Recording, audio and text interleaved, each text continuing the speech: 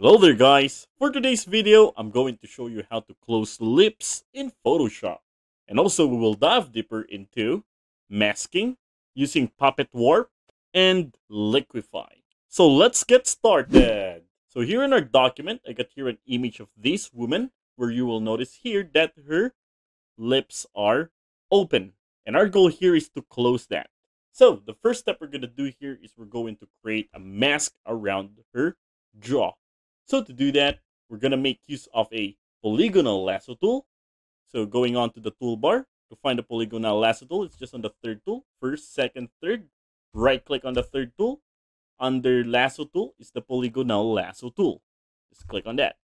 All right, so let's create a selection on this part. So you can just follow on this. So I'll start making from here. Yes, we need to create a wide range for this. All right, so our selection is done. Now, let's create a layer of this selection. So to do that, with this selection, all I have to do is to press Ctrl plus J. So once I did that, we already created its own layer. See? Okay, now let's bring that back there. All right, now let's hide the background layer for now. Just stick this one. Now the next step I'm going to do here is I'm going to remove the one that is inside her mouth, those teeth. Okay, so I'm going to zoom this one in. Okay, and then again, we're going to make use of the polygonal lasso tool. For the shortcut key, key, you can just press L for that. Okay, now you can start creating a selection from the inside part of her mouth.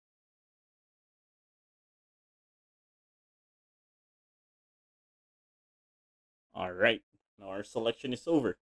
With this selection, I'm also going to the menu bar, go to select, under select, go to modify, and for the feather, click on that. Let's just add it a 0.5 pixels and then select OK. And by the way, if you find this video helpful so far, please consider subscribing to help YouTube algorithm show my videos to other nerds like us. Well, going back, now, once we already have this selection, now let's select on that layer of that mouth, all right, this one. And then with that selection, I'm going to press backspace to delete the ones inside. All right, there you have it. Okay, now to remove the selection, all we have to do is to press Control plus D to deselect. Okay, now this is what we already have now. Now, the next step we're going to do here is we're going to cut this to upper lip from the lower lip. Okay, so again, we're going to make use of the polygonal lasso tool. Okay, so we're going to start cutting out, cutting this out. Okay, so I'm going to start from here. All right, this one. So I'm going to make sure that you're going to cut this one exactly at the middle of your mouth.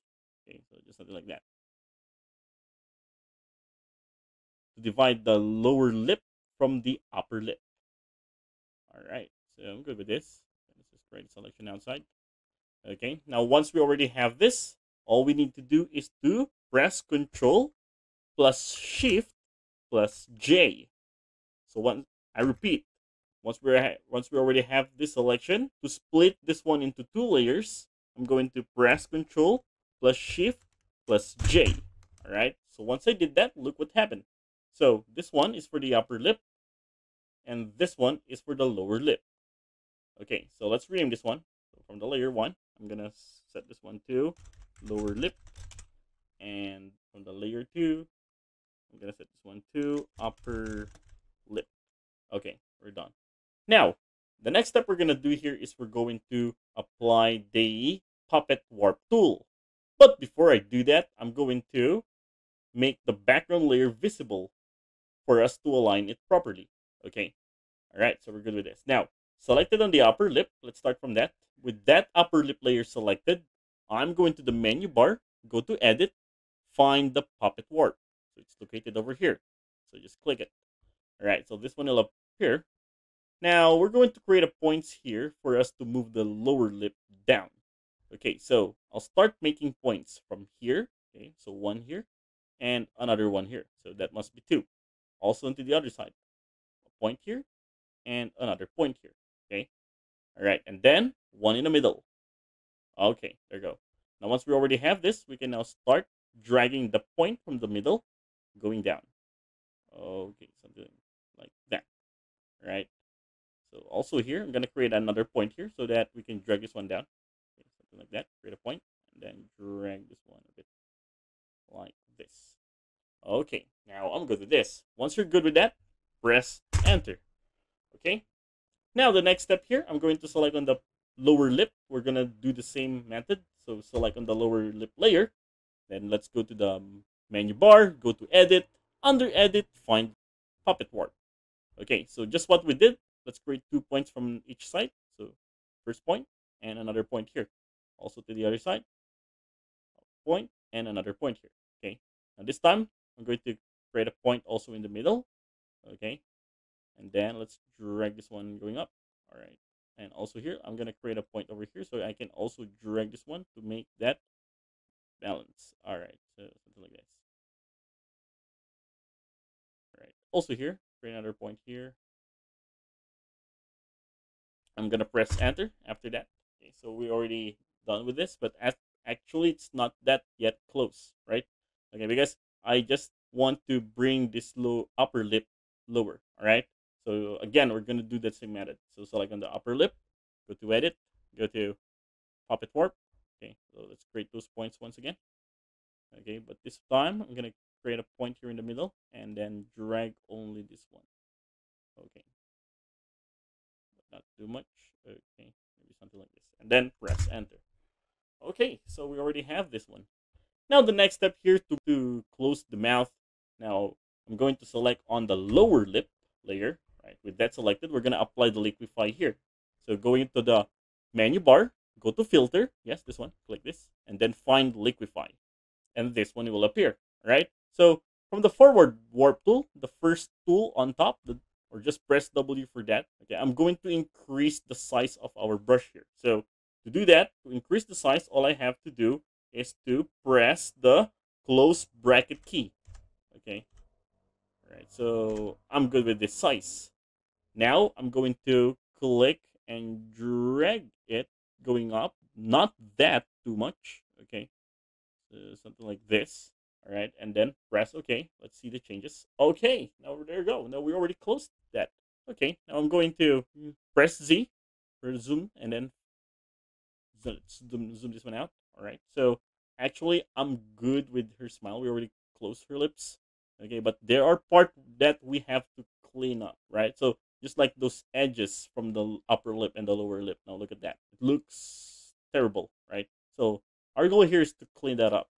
Now, I'm going to select on the lower lip, okay? And then I'm going to create a mask. So just go down here, right? Select this, add a mask icon, okay, right? And then click on that white thumbnail.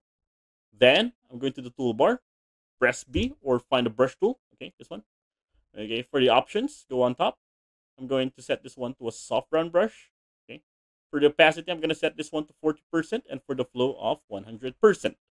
And for the foreground color, I'm going to set this one to color black. Okay, so once all said and done, we can adjust the brush size. So just what we did, we can just press close bracket key for that okay and then let's clean up those edges like this now look at that looks so natural when i'm trying to clean that up isn't it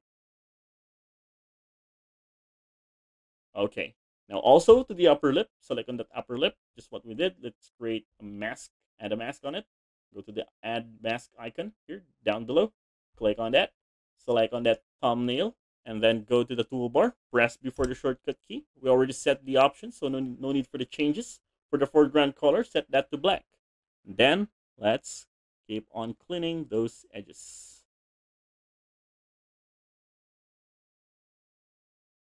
All right, now there you have it. Okay, so I'm going to zoom this one in. Okay, so let's just clean a few from here. All right, so I'm going to select on that upper lip. So I'm going to clean just this one on top. All right, so select on the thumbnail again, right? And then press B.